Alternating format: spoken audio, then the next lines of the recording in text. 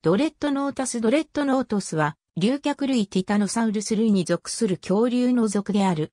2017年6月現在、ドレッドノータススクラニディシュローニー一種のみが知られている。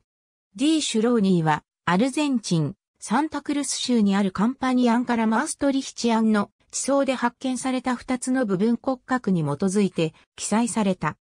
陸生脊椎動物史上最大級の体の大きさを持つものの一つであり、信頼に足る確かさで大きさが推定できる陸上動物の中で最も巨大かつ最も保存状態が良好である。D シュローニーはいかなる大型竜脚類よりも完全な骨格が知られている。ドレッドノータススクラニドレッドノートスシュローニーの発見は大型ティタノサウルス類の大きさと解剖学についての知見を深めるものである。上腕骨と肩甲骨、骨盤については著しい。ドレッドノータスの骨の偉大性は、その良好な保存状態にある。変形や風化が極めて少なく、特に上腕骨が良好である。細部が観察可能で、筋肉の付着部などが非常によく確認できる。ドレッドノータスの背中には外側に伸びる大きなスパイク状の皮骨が何本か備わっていた可能性がある。ドレッドノータスは、また体の大きさの割に、例外的に長い首を持っており、全長の半分ほどもあった。模式標本と人とのサイズ比較骨格の基地の部分の測定値に基づき、唯一の基地の個体は、全長約26メートル、全高12.2メートルと推定されている。肩甲骨は1.74メートルで、他の基地のティタノサウルス類の肩甲骨よりも長い。腸骨も他のどの恐竜のそれよりも大きく、長さは1.31メートル。上腕骨はティタノサウルス類において以前に知られていたものよりも長く、より軽い構造をしていた。ブラキオサウルスやパラリティタンのそれよりは短い。ティタノサウルス類の各種はわずかに異なる比率を有すると思われるが、これらの測定はドレトノータスの体の大きさを物語っている。3D 骨格を使用して作成された模式標本の体重及び容積の現在の推定値は22.1から38.2トンの範囲と同出されている。完全性は様々な方法で評価することができる。竜脚類の骨格は頭骨要素がほとんどないか全くない状態で回収されることが多いため、頭骨を考慮しない完全性に関して完全性が検討されることが多い。化石動物の解剖学を理解するための最も重要な指標は骨の種類である。ドレッドノータスの完全性統計は以下の通りである。ドレッドノータスの完全性は他の超巨大流脚類のそれをはるかに超える。ケネス・ラコバラとドレッドノータスの上腕骨、ドレクセル大学のケネス・ラコバラはアルゼンチンパタゴニアサンタクルスのセロフォールタレーサ、類層で2005年に化石を見つけた。骨は非常に大きい上、離れた場所に散在していたため、チームが完全に掘り起こすのに4年かかった。最終的にフィールドジャケットにくるまれた骨をトラックに積載するためにさらに多くの人員を要した。2009年、その化石はバイデト研究のためにフィラデルフィアの海洋学研究所へ運ばれた。化石は補修され、ドレクセル大学とカーネギー自然史博物館によって分析された。その後、ドレッドノータススクラニの化石は、リオガレゴスのムセオパードレ・モリーナという博物館へ収蔵された。2点のドレッドノータスの標本は 3D レーザースキャナーでスキャンされた。ソフトウェアオートデスクマヤを使用して各骨のスキャンを 3D 空間に配置してデジタル関節骨格を作成し、ジョマジックというソフトウェアを使用して 3DPDF ファイルに変換された。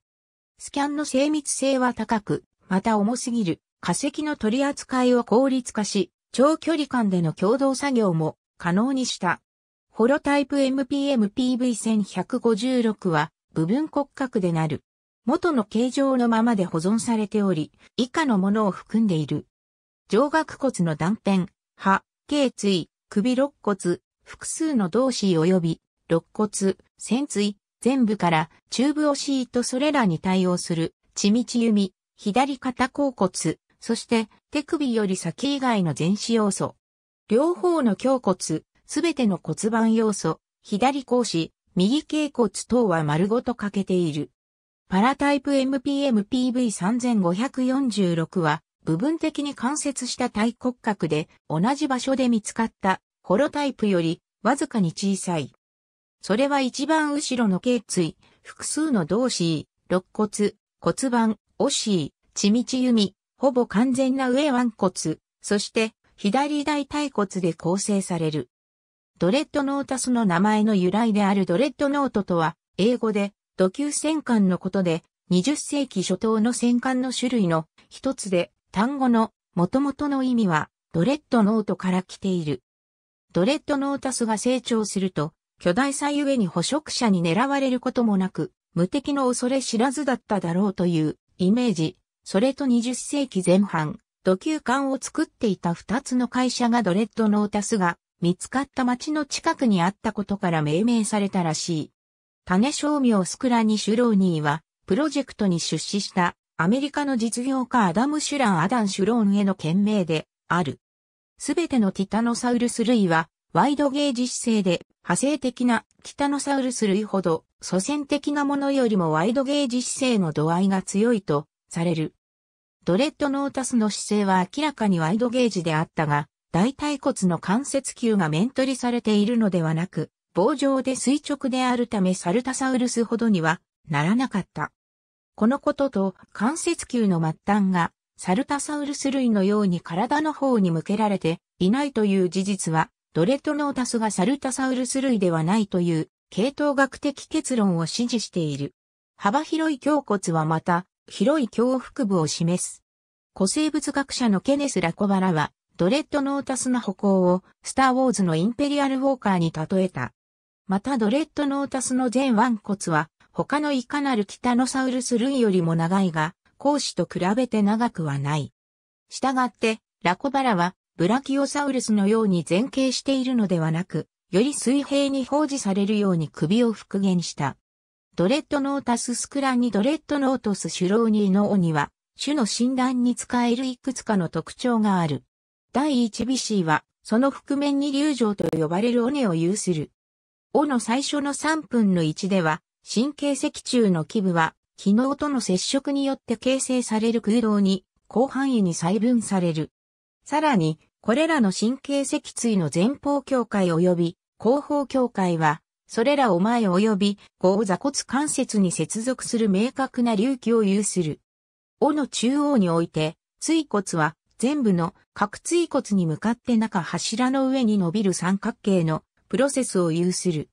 このような骨は、脊柱の腹側表面に接し、前方に見ると Y 形をしている。Y の下の部分は広くなっており、筋肉の付着部である可能性が高い。D スクラニの肩甲骨と前足にもユニークな特徴がある。傾斜した隆起部は肩甲骨の内側面を横切り、肩甲骨の円端近くの長部側から基部近くの底部側に伸びる。最後に、半径の角端部は独特の形状を呈する。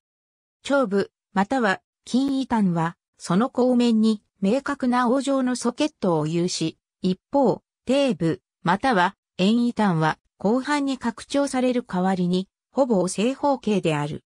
ラコバララによる2014年の分岐分析の結果、ドレッドノータスは非常に派生的な基盤的ティタノサウルス類のようで、リトストロティア類とは別系統であるとされた。その骨格には比較的進化的な特徴と原始的な特徴が共に多く存在し、現在知られているティタノサウルス科メンバーとの類縁関係は不確かである。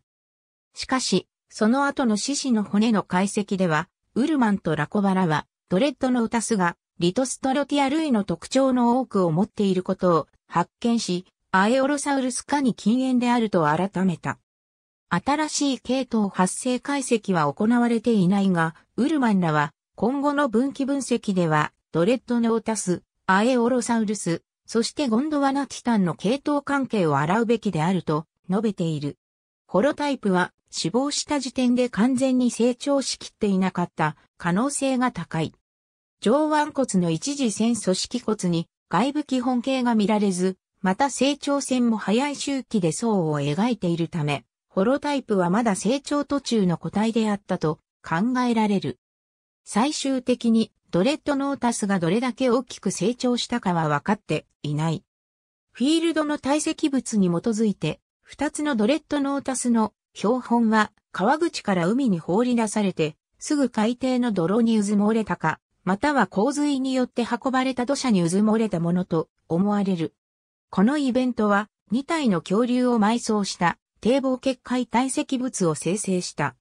これによってドレッドノータスのタイプ標本は迅速かつ比較的深く埋められ、驚異的な完全性を保ったまま保存された。